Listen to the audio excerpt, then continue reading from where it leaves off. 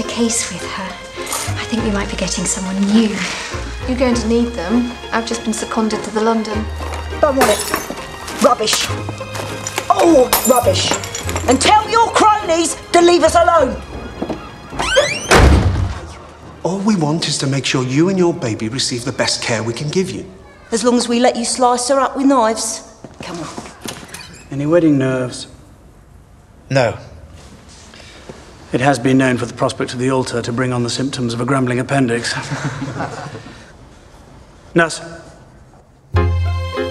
Segunda temporada de Llamen a la partera. Sábado a las 22.